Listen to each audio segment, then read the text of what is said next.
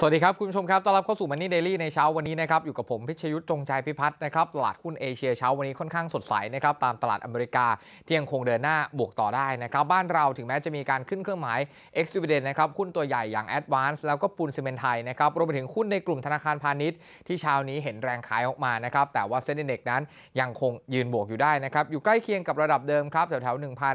1,580 จุดนะครับ ล่าสุดเช้าวันนี้นะครับยังคงทรงตัวนะครับบวกอยู่ 1.15จุดครับ วินาทีปัจจุบัน 1,579 จุดนักวิเคราะห์แนะนำยังไงนะครับ ไปตรวจสอบกลยุทธ์กันในช่วงของเทรดไทม์ในช่วงแรกนี้ครับ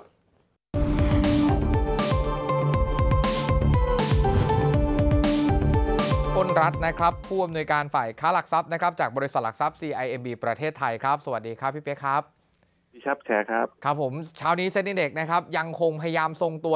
1,580 จุด แม้ว่าจะมีการ XD หุ้นใหญ่หลายตัวทีเดียว แนะนำยังไงดีครับ ก็ตอนนี้ถ้าดูสภาพตลาดโดยรวมเนี่ยครับ เรียกว่ามันจะแบบแคบมากๆอะแชร์ครับผมบวกลบอยู่สิบจุดเองคือข้างบนหนึ่งห้าเก้าศูนย์ข้างล่างหนึ่งห้าเจ็ดศูนย์ครับ เอ่อมันจะแกว่งอยู่แคบๆเพราะฉะนั้นหุ้นที่เกิดในตลาดแคบๆเนี่ยมันจะมีบางตัวสบางตัวลง บางตัวก็จะขึ้นสลับ แต่ว่าจะขึ้นในกรอบไม่ไม่ไม่ไกลมากนะครับ เพราะฉะนั้นตัวไหนที่ขึ้นมาเนี่ยแล้วตัวเองพอมีกำไรเนี่ย จะขายก่อนก็ได้เพราะมันคงไปไม่ไกล อืมส่วนแล้วก็ไปซื้อไอ้ตัวที่มันลงแรงแทน ครับผมหรือไม่ก็เลือกหุ้นที่เอ่อตลาดกำลังให้ความสนใจ หรือมีข่าวดี หรือมีปัจจัยบวก มันก็จะทำให้อาทิตย์นั้นนะบวกทั้งอาทิตย์แต่ว่ามันจะบวกไม่ไกลนะครับได้ประมาณสักสองถึงสามเปอร์เซ็นต์อืมนะครับเป็นการเก็งกำไรครับ ก็ต้อง trading กันไปใช่ครับครับผมถ้าอย่างนี้ช่วงนี้อาทิตย์นี้พี่เป้แนะนำตัวไหนที่น่า trading บ้างครับ อาทิตย์นี้ทาง research เลือกบ้านปูครับ ครับผมเพิ่งเหตุฟื้นผลขึ้นเพราะว่ามาราคาถ่านหินขึ้นมาก็จะถึงร้อยเหรียญแล้วครับครับ แล้วก็ราคายังค่อนข้างจะไม่ไม่ค่อยขยับขึ้นมาอืมราคาเป้าหมายของทางฝ่ายมันเจ้าให้ไว้ถึง 25 บาทนะครับ โอ้โห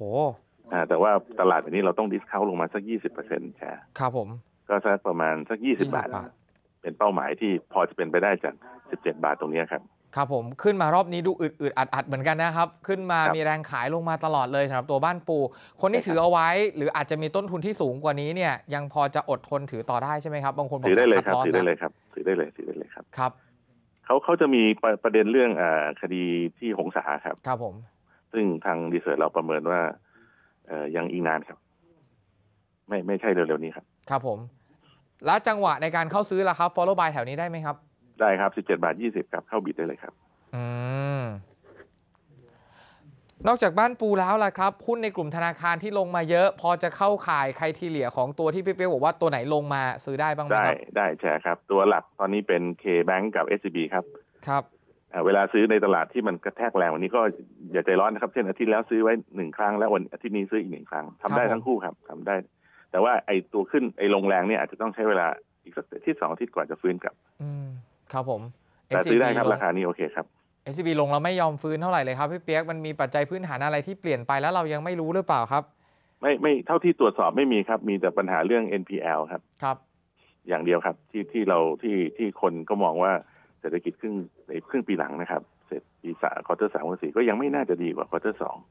มันตัวเลข NPL ไม่น่าจะลดลง แต่ว่าราคามันลงมาแรงเกินไป ผมว่าพอเล่นดีบาวได้ครับ อืมครับผม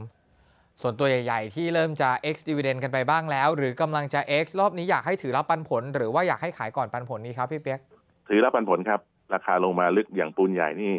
สี่เก้าหกปันผลแปดบาทใช่ครับถืว่าไม่ไม่ไม่ไม่มีปัญหาอะไรครับ แต่เช้านี้ก็ลงน้อยกว่าปันผลด้วยอ่าปันผลสู้สู้ได้ทุกตัวครับ ครับ อย่างปูนใหญ่ XD ไปแล้วยังซื้อได้อยู่ไหมครับ หรือว่าช่วงสั้นก็หมดเสน่ห์ไปแล้วครับ ถูกเหลือเกินตอนนี้เอ่อ490 ก็ ต่ำกว่า 490 แล้วกันครับ ถ้าอยากจะเก็บครับ ครับผม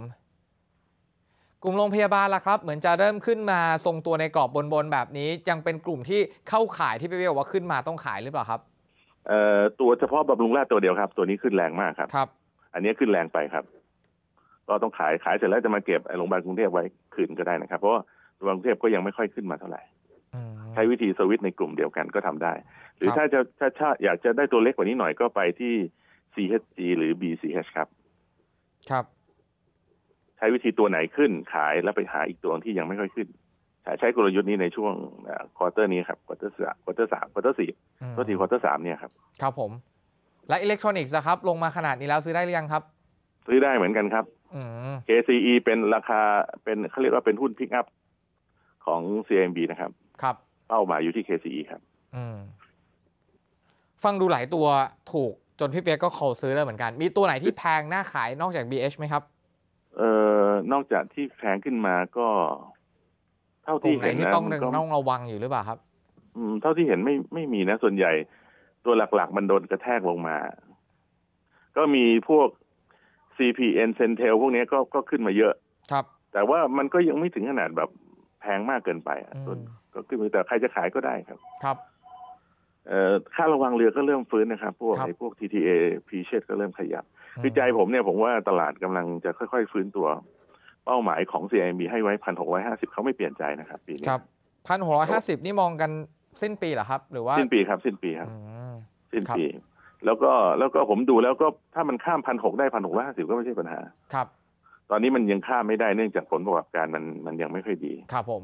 เราก็ลุ้น